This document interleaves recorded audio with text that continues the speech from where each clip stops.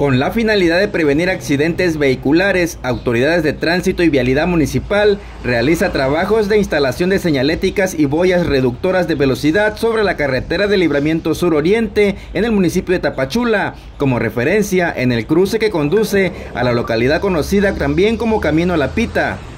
Esto luego de que se han registrado varios accidentes por ser un cruce constante de peatones y vehículos, señaló Yosimar Florestino, comandante operativo de tránsito y vialidad municipal. Este es un problema añejo y es un reclamo de toda la sociedad en general.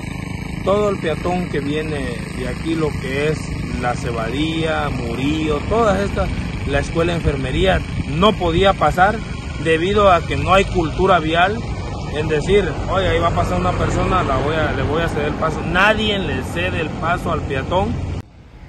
Aseguró que estos trabajos se realizarán en otros puntos de este mismo tramo carretero, el cual atraviesen incluso estudiantes de una conocida escuela de enfermería, además de que se colocarán señaléticas que marcarán los límites de velocidad para los vehículos que por este punto circulan. Al marcar el alto aquí el vehículo, ya puede pasar el camino La Pita porque el libramiento no le cede el paso al peatón ni al vehículo. Y, igual a la escuela de enfermería también se va a poner una línea de boyas allá. ¿Para qué? Porque hay reportes que los alumnos hasta corriendo pasan, hay, solicitudes, pues se está atendiendo eso por instrucciones de, de nuestra presidenta, maestra Rosa Irene Urbina Castañeda.